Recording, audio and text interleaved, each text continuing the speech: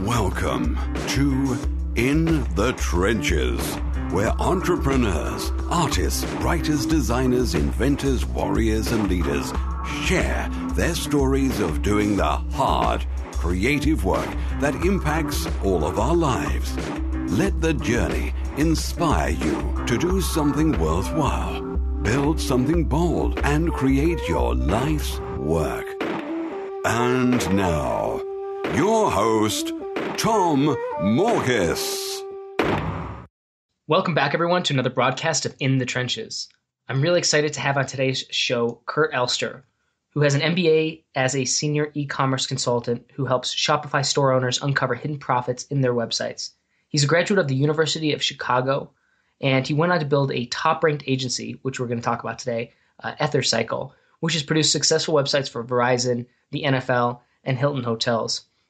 And uh, today, Kurt and EtherCycle team use their experience to exclusively help Shopify store owners. And so we'll talk a little bit about Shopify and all that, but probably primarily talk about sales and marketing and all that good stuff in today's uh, today's show. So, Kurt, thanks so much for being on the call.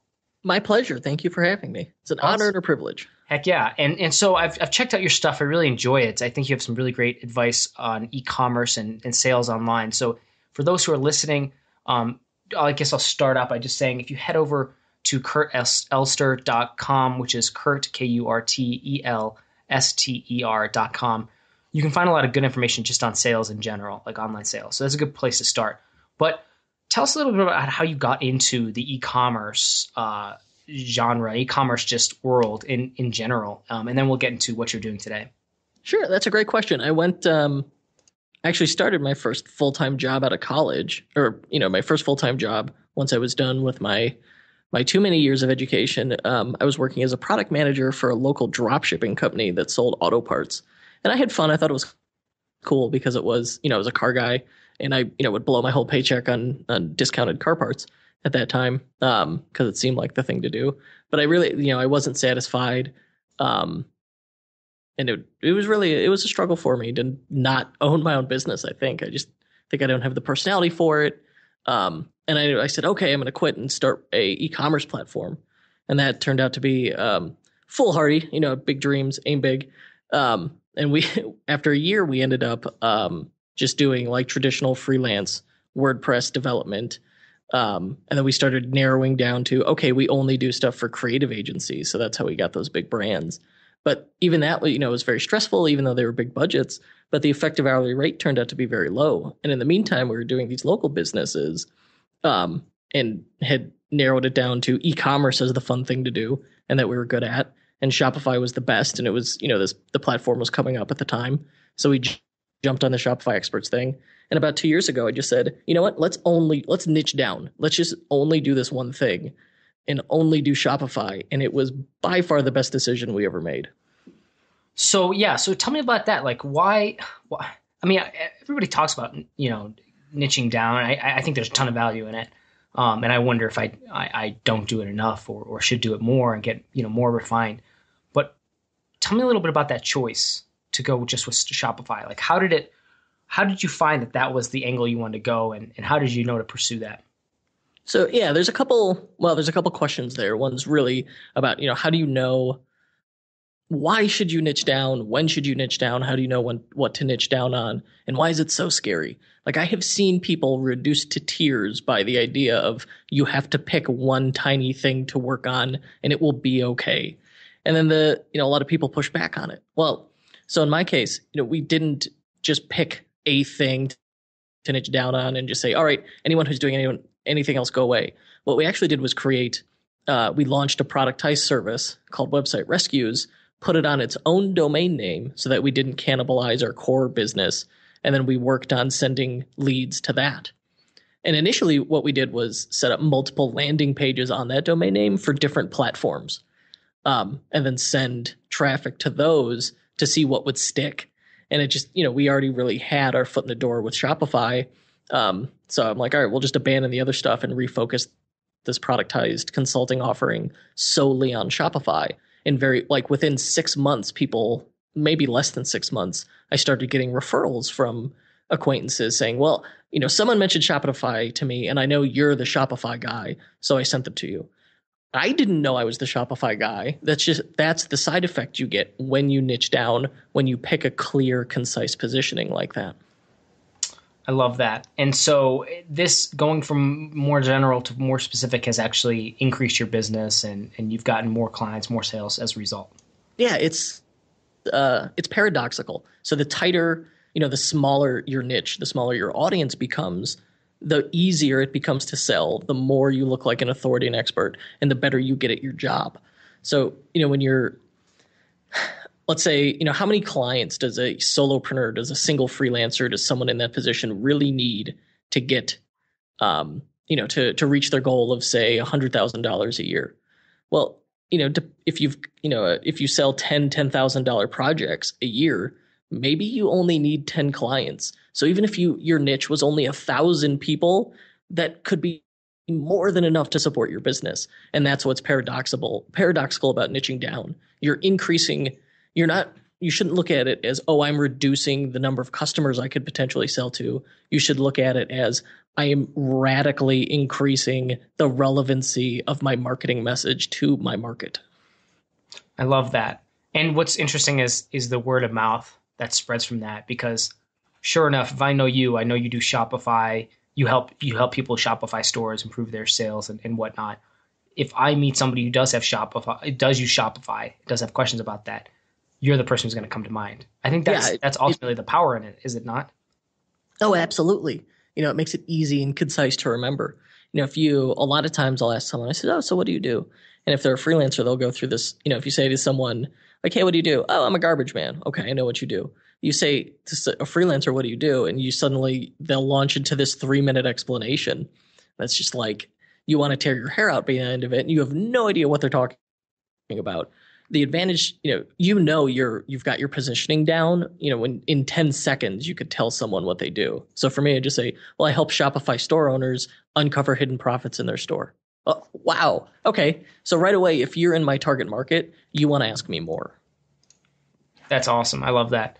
And I, and I think the implications are pretty far reaching. Um, and, and while paradoxical, like you said, I think, I think it's, it's, it's true though. I, I think that's, it also stems, I think, from kind of becoming an authority in the space too. Uh, wouldn't you say? Like, I'm curious about your take on that because even though you, you probably were just as much of an expertise on, on, you know, e-commerce and online sales as a whole, um, tagging it, like niching down and, and, and tagging yourself with Shopify kind of makes you the Shopify guy, doesn't it? Or, or am I off on that? No, you're right. You're absolutely right. I mean, there's uh, like I'm as you know, I was very familiar with WordPress and I was familiar with BigCommerce and a you know half a dozen other e-commerce platforms, but we chose to do the one, and I worked you know a team of three people. We chose the one that gave us joy. So you know, I see a lot Of, a lot of people are scared to turn away business but if it's business that you don't like that doesn't bring you joy why are you doing it like you if you own your own business you are solely responsible for everything including your own happiness. So do the stuff that gives you joy. In our case working with you know entrepreneurs and shopify was the cross section of like these are great projects. So that's what we went with. And i think it also helps too i guess i'm curious like do you think there would have been a different response if you had say focused on WordPress websites or something like that? Or do you think like do you think that there's something to the fact that choosing Shopify it kind of says something about that that particular client as well? That they have some sort of business that they have certain amount of like revenue to be able to pay for your services and so on and so forth? Well, there's an interesting thing. When you niche down on a technology platform, you um, more often than not, you're going to be um, dealing with the business owner because typically the business owner is the one who chooses the technology platform. So something like WordPress is now so broad. It's something like a third of the internet runs on WordPress. That that's if you chose that as a platform, you have in no way niche down. Whereas you know something like Shopify, when we were on it, I think they had and when we made this decision, they they had probably just cracked hundred thousand stores. You know now they're over two hundred thousand. Um, but still, I mean that's nothing in comparison to to WordPress.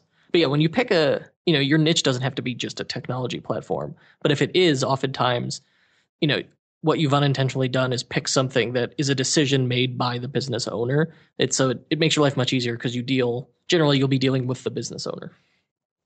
There was awesome. I, there's some good info in there. I wish I could have said that uh, more concisely. no, it's it's perfect. It's awesome. So tell me a little bit about, I, you know, we'll get into uh, online sales, and this all kind of ties to it as well. But I'm curious about how you uh, you personally kind of set up shop.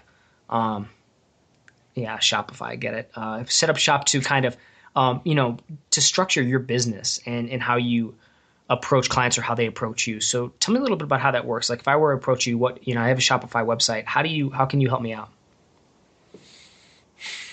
Is it a question of how do we how do we work with clients who approach us, or how do we Yeah. get leads? Well, it, I, I think it'll. Uh, I think I'll go to the the leads piece in a second, but I just want to get clarity on what you guys actually provide um, and how you provide it um, to kind of get an idea of, of the business as a whole, of, of EtherCycle and everything as a whole. Sure. So the um, we reframe things. You know, I want to be. You know, when clients hire us, I want us to hire us as you know for for strategy first, and then as a pair of hands second. So if someone comes and they're just like, "Well, I've got this," like you know, do this this design tweak and this development stuff, I could do that for for you, but it's you know you need to tell me why you're doing it that way, and we're probably not going to work together well if you're just dictating things to me. I want people, um, you know, to be taking a higher level approach, and we do do that fulfillment and the you know those tweaks and that stuff. Um, but you know, ultimately, the separation is is doing brains versus hands work. Um, and what I mean by that is, you know, we're providing strategy on this more holistic scale um, with Shopify stuff. But in short, you know, essentially we have a you know a small team of people who can do um, strategy, marketing, um, graphic design, and development. And when you combine all of those things, that's everything you need um, to have this this sort of holistic e-commerce practice um, in an agency setting where you can provide someone everything they need to build the complete life cycle that their customer goes through. You know, someone goes from Facebook, pro- like a prospect on Facebook, to a brand evangelist. Well, there's all kinds of steps they took in between there, and there were all kinds of of things that had to happen in that client's business to enable that, and that's what we're we're offering. That's awesome. Okay, and so how do you go about? Obviously, word of mouth is going to be important, play an important role. Um, but how do you guys go about actually acquiring uh, customers? So that that lead generation cycle, so to speak. So now, now and now and forever, and since we started, the best clients are going to be from word of mouth. Yep. um, and I we try and foster that. So I've got, you know, if you really want to foster word of mouth, you have to do two things: give people great experiences and do everything you can to keep yourself top of mind. And I think the best way to do both of those, um, you know, and, and generate that goodwill, and that's what it's about, um, is through content marketing. So we've got a podcast for Shopify store owners. We've got a newsletter, free email course, um, info products now. And what's great about all that stuff is like, yeah, it's free content that'll help people grow their store. So I, you know, I produce it, um, and and people consume it, and they immediately have a sense of, you know, like, oh, okay, these people are, you know, this guy, that team, they are Shopify experts. The other side effect of it is, you know, a lot of it is very opinionated. I'm like, from experience, this is what I think. You know, these are the way to tackle these problems. So for lack of a better term, you could view it as brainwashing. Like I would much rather have the clients, you know, as clients, I would much rather have the people who've listened to my podcast, who've read my newsletter, because they're already familiar with like, you know, how I work and the the business processes I value versus someone who just comes in, you know, who cold calls and is like, "All right, now, you know, pitch me on your services." I don't want to pitch you. You know, go go out, read my newsletter, my podcast. You'll probably be you'll be better off and I'll be better off. That's awesome. I love it. And so, you know, when it comes to what, are some key takeaways, um, I guess for for online sales? Like, I, I know it's it's fundamentally like it's going to be concierge. Like, it depends what you're selling and so on and so forth. But there are, are there any key takeaways that I guess anyone selling anything online can say, "Yep, I just grabbed that nugget from this." Like, any fundamentals, any like evergreen uh, bits of advice that you can give people when it comes to online sales?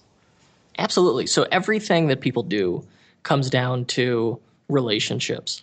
The thing that that baffles me and frustrates me is that we have, you know, when you are a small business, a solopreneur or a small team, you are lucky and truly you are lucky and fortunate if you're in that position because it means you can have personal relationships with your customers. You can be the face of your company. You can put yourself out there. instead of doing you know the very generic branded stuff that um, big brands do. Big brands do that stuff because they can't afford to have that one-on-one relationship. So it's very frustrating for me when I see you know like a one, two, three man operation send out these very polished HTML newsletters that are just utter garbage. I mean, they're impersonal shit. Yeah. Yeah. And when you do that, like, why bother doing that? It would be so much better if you, as a single business owner, tried to develop a relationship by sending plain text emails. Like, would you send your mom an HTML newsletter? Never, ever would you do that. So, right. why are you doing it to your customers if you don't have to? If you view everything as a relationship, you'll be much better off. Um, and I think, you know, everyone w- starts an online business with the idea that their website is the complete one and done sales process. And it isn't the case. You know, we know statistically someone may visit a website uh, up to five times before making a purchase. And the reason is they're they're developing a relationship with you. They're building trust until they're comfortable enough to buy from you. Yeah, that's awesome. I love it. Very powerful stuff. Why? Yeah, why that's why the you... the core tenet of of um, you know of our strategy and our, our marketing. Okay, and so do you do you? I guess I guess to clarify, are you primarily working with these type of small, smaller um, type um, businesses, like uh, you know maybe a few employees to maybe a, a dozen or something like that? Yeah, our requirement is not you know we don't view them by revenue. We qualify them by um, the size of their team. And as soon as someone you know there's a threshold where as soon as they get over a certain size, they stop being fun to work with. You know, there's too many processes in place, too many it becomes too bureaucratic. There's too much red tape. And you can run a hugely successful business. You know, we have several, probably five or six Shopify clients doing seven figures now. And they have very small teams. A couple of them are are still solopreneurs um, doing those seven figures with just, you know, by outsourcing stuff. And those are the people that are really exciting and really fun to work with because they are personally and emotionally invested in the success of their business and their product. And that passion, that enthusiasm is what makes them fun to work with. That's awesome. I love it. So this is a selfish question um, because uh, I'm doing more and more kind of um, creative agency type uh, type work myself, and and so I'm always really curious to learn from other people who I think have you know done it done it right. And so I look at the way you're building your business and, and what you guys have done. And I think you you've done it right. I'm curious how you how you go through the process of vetting um, potential clients. Uh, and I've asked this for to a, a few people because I, I, feel like I always pick up some nuggets and stuff like that. And and Brennan Dunn, um, I had him on. I know he, you guys are friends. Um, had him on the show a, a, little while ago and and loved his advice on how to how he personally goes about vetting clients. But I'm just curious, how do you? I guess how do you improve that that system right there? Because I feel like there's a lot of, and this applies, I think, to freelancers, to consultants, um, to any service based business, um, where, especially if it's going on larger contracts, where there's some sort of like sales involved, like calls or presentations or something like that, how do you make sure you're not just wasting your time on people who aren't going to buy? That's an excellent question. Um, the trick, I think, um, is to follow, if you can, uh, product ladder theory. So, so, say someone reaches, you know, the first step is someone uh, fills out a contact form, say on on websiterescues.com, the, you know, our productized service, or ethercycle.com, the agency um, service, and I'm going to consolidate those websites. That's an aside. Um, but let's say someone, you know, fills out the contact form. They'll then get an immediate autoresponder from me. And it's it's meant to look personal and no one I even wrote sent from my iPhone across the bottom and no one catches that this thing sent way too quickly. Um, that's fine. And it just asks three qualifying questions. That's it. And the first one is tell me about yourself. I'm picky about who I work with. And then the second is how much traffic did you get in the last 30 days? And the third is what is your conversion rate in the last 30 days? You know, because if they say, well, I've got you know a million visitors and my conversion rate's 10% i know that either they're lying or they're doing so well there's really nothing i could do to help them. Um, so i just ask like that's step one. You got to fill out the contact form and then get an email that asks you three pretty straightforward questions and two are just numbers. So if you can reply to that email and when you reply to it you're nice you seem like a nice person and you can you can fill out you can write in a, a complete sentence and use proper grammar um, and I don't object to your business in some ethical way, then from that point, like if it's something I'm really excited about, I'll say, okay, let's schedule a call. Here's my Calendly link. And each of these are like tiny micro engagements. You know, the first is fill out my contact form. Okay, it's this tiny thing. Just respond to an email with three simple questions. And the the first one is that very like you know where I'm reframing the relationship that I'm the prize by saying, "Tell me about yourself." I'm picky about who I work with because I do. I want to know what you know what they're about. And there's some people who like won't even can't even be bothered and are offended by, by that. And it's like, okay, clearly we would have not worked because your ego's too big. So I've already vetted them and gotten them out. Um, so then once you know they reply to the email and I like it, I you know maybe I'll ask a follow up question. Maybe I'll de- most people I will flat out decline, um, and maybe uh, and I'll say okay if I'm really excited about it, I'm like that that's really cool. I'll tr- get them to book a call and we'll just talk on the phone about it and we'll see you know from there you can easily develop what um, your relationship should look like. But if you're very popular and you're not too discriminating, you can waste a ton of time on the phone. So you got to be cautious there. Um, if I'm on the fence about it, this is the crazy thing I'll do. I will send them to Clarity. Clarity.fm is a service to allow people to pay for phone calls. You know, you can book a call with Mark Cuban on Clarity.fm for ten thousand dollars an hour, or something crazy, um, or you could talk to me for two bucks a minute. And that's what I do with people where I'm on the fence about it. I'm like, listen, this sounds great. Let's start with a, a road mapping call, a road mapping workshop. Um, there's many benefits to starting with this. It really it reduces the risk for you because we get to get a sense of what we're like um, working together before we jump into a project. So just book your clarity call here. Well, a 15 minute call costs 30 bucks. If the person does not want to bother spending $30 to talk to me to ensure the success of their project, they won't do it and they like automatically I knew they were tire kickers and they weren't going to spend anything. You know, if I want to know if someone will spend five thousand dollars or ten thousand dollars, I got to get them to spend fifteen bucks first. Yep, I love that. And so, how do you decide if, if you're on the fence? I guess in that in that context, like to send them that way. It's um, I wish I could give you something better, but it is literally a gut check. Yeah, it's like does does this you know, and that's you know I think clients have to realize when they're talking to a vendor.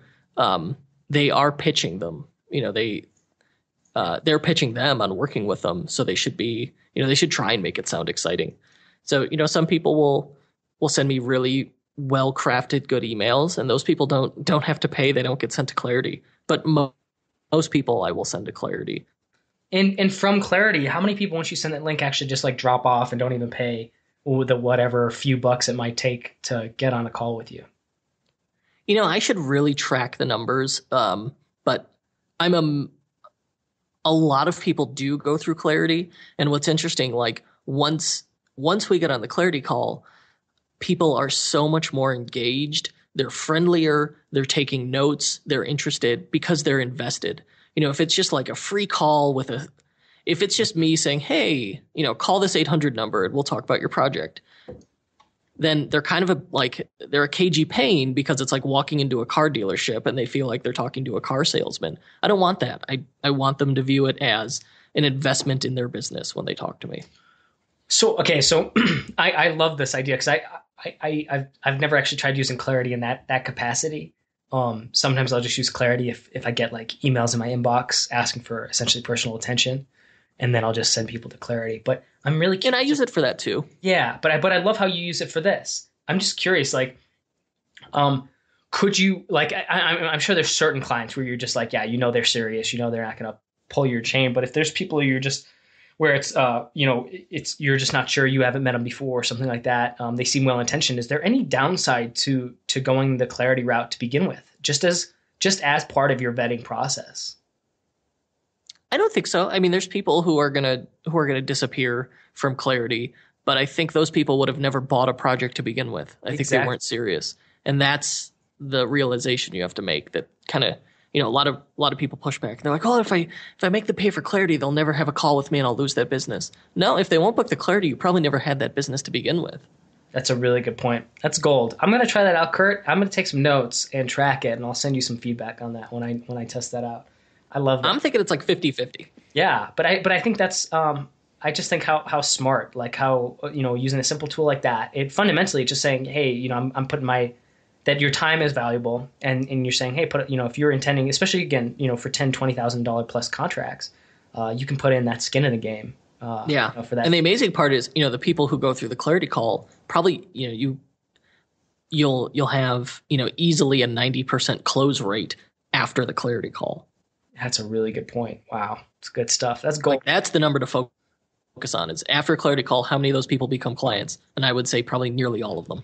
That's awesome. Ooh, that's good. I'm gonna start. I have to start tracking this stuff and and test it out. Love it.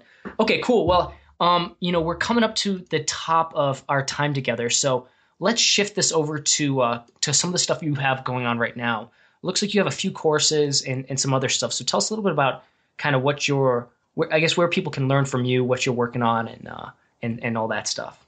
Sure. Well, uh, so we'll go with the the free stuff first. I would encourage people, you know, uh, give the uh, the unofficial Shopify podcast a listen. I host that. That's unofficialshopifypodcast.com.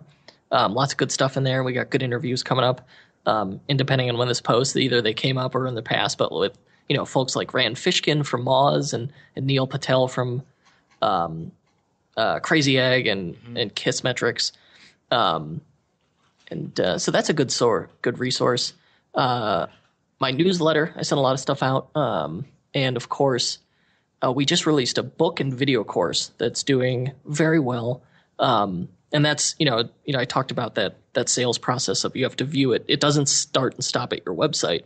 It's part of a much bigger chain. Well, actually, you know those thoughts are very clear to me because we wrote a whole book on it. Um, we put it into a manual and included screencasts, and that's available at ecommerce-bootcamp.com.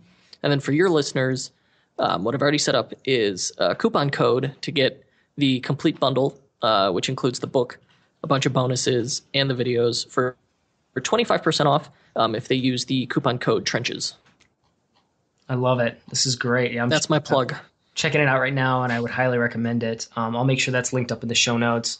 Uh, this looks fantastic. So yeah, for those who are listening, if you are selling anything online, you should probably take a look at this. Uh, it looks like it'll be hugely beneficial, and, and, the bonuses look great too. So yeah, Kurt, really appreciate having you on the call, man. Um, very insightful, and I appreciate you uh, taking the time today to uh, speak with us and share your advice and insights. No, my pleasure. I the pleasure's all mine. I really enjoyed it. It's always fun to talk. I love awesome. podcasts. Yeah, I agree completely. Cool. And then, uh, so I guess uh, if if people want to reach out to you, they I guess the the main point of contact is kurtelster.com. Yeah, I would recommend um, probably like for a quick question, shoot me on Twitter. I love Twitter because it limits people's questions. Yeah. Um, you could try to email me. I don't guarantee I'll respond just because I get a lot of emails.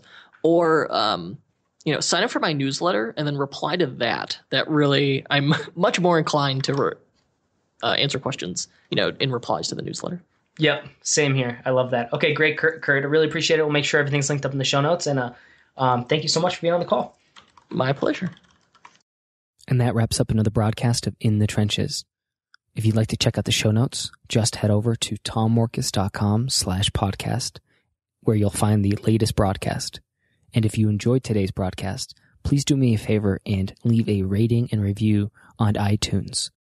That's the fastest, simplest, easiest way to support my creative work, and it would really mean a lot to me. As always, this is Tom Morkes, and if you're listening to this, you are the resistance.